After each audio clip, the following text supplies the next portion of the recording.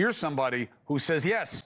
Shanon Gray, attorney for victim Kaylee Goncalves's family. Counsel, thank you for joining us. What do you make of the decision? Well, I mean, I think it was a decision that we kind of expected to a certain degree, but really the issue now is where the trial ends up. It could be Kootenai County, it could be Nez Perce County, it could be Ada County. So we're hopeful that it stays in a county that's close to Latah County, number one. And number two, it looks like Judge Judge will no longer be presiding over the case, which I think the family finds beneficial.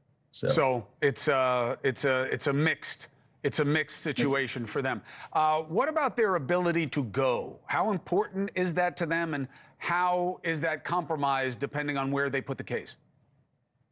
well, it's an incredible inconvenience, I think, to the entire case if you go move to Ada County.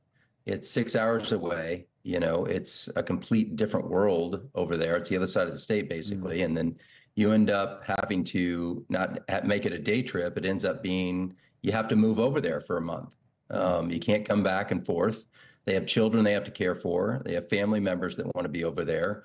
I mean, all of the witnesses, uh, most of them are around Latah County. So Right. it, it would be a massive inconvenience, I think, for the family as well as the case if it was moved over to Ada. You think this happens in June as scheduled?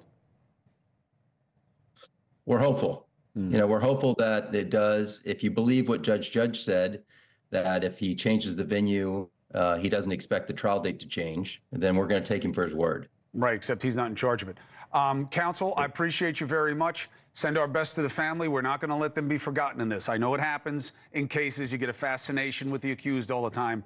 Uh, we're going to keep a focus on the victims and their families. I promise you that.